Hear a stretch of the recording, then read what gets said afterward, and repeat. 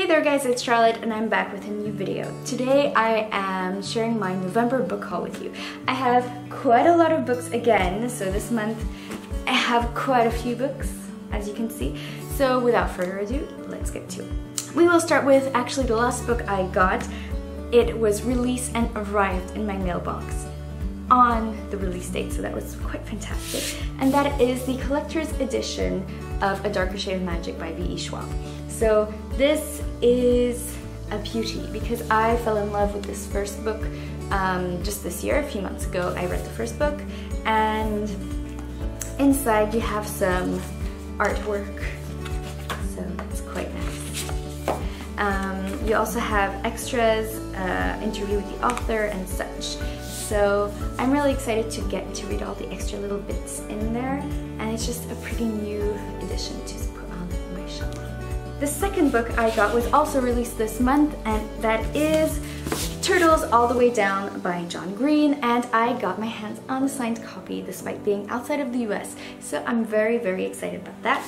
I'm very much looking forward to reading uh, Turtles All the Way Down. I'm just keeping it for a moment when I can really dive into the book and enjoy it to the fullest because I feel like John Green's books, if I read them in bits, then I won't enjoy it as much as if I plunge into it uh, like I did with a few other books of his. So I'm very much looking forward to it. I've heard a lot of great things already, so I'm trying, I'm, I'm going to try to get through it this year. Then comes um, the next book, which is Wild Beauty by Anna Marie McLemore. Um, the cover is just beautiful. This cover is actually a special OwlCrate edition cover, so it's one of those books that covers that you can't get anywhere else, and I'm in love with it. The book description sounds wonderful. I hadn't heard of it before I got in my OwlCrate, but I'm very much looking forward to it. Oops, timer off. Then I have another special edition. Yes, we. I think I. Yeah, I think I started with all the special editions. So I have the Book of Dust by Philip Pullman, and this is a special Waterstones edition. And look at it. Just look at it. All the sparkles.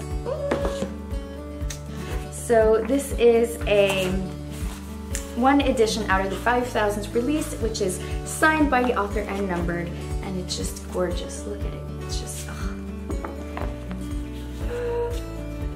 and it comes with a slip case as well and yeah I think it's one of those beautiful books that you just have to have because of how nice it goes so here you throw out the window the whole don't judge a book by its covers because I'm totally judging this one the next and last book that is a special edition in this book haul, there are actually quite a lot, um, is Diana Gabaldon's Outlander. This is the 20th anniversary edition. It looks gorgeous. Um, it's a hardcover. It's fantastic. So I fell in love with the Outlander TV series and when I found out it was based on a book series, I decided I had to get them as soon as possible. And of course, when I set my eyes on this beautiful edition, I had to get it as well. And I found out that a few days ago, they actually published the second book, uh, Dragonfly in Amber, in a special edition as well for 20th, 25th anniversary. So I had to get that one. But that's not it. I didn't just limit myself to that one book. I also got got a whole box set of the first four books. So here we go. This is what it looks like. Um, so yeah, I've got to get reading and I'm really excited to, but I'm waiting to read the first three books um, while I wait for the fourth season to come out. So they're still running season three and so I wait for the, I'm waiting for the break between season three and four to get started with the books. I actually lied. I have another special edition of another book. ah, this is the special edition haul. Um, so I've gotten Neverwhere by Neil Gaiman, and this is a signed version of the book. So I've got a signed Neil Gaiman. Um, and there are illustrations, of course, by Chris Riddell, and this edition is the preferred author edition, so it's slightly different from the original one. Um, but yeah, so that's, I think I got this one from Barnes & Noble. So first time I ordered there and it arrived in one piece to Europe. So yes, I did that. I, I order from all over the world apparently to get special signed editions now, which I didn't used to do very much. I did that maybe once and now I just do it because books are my thing.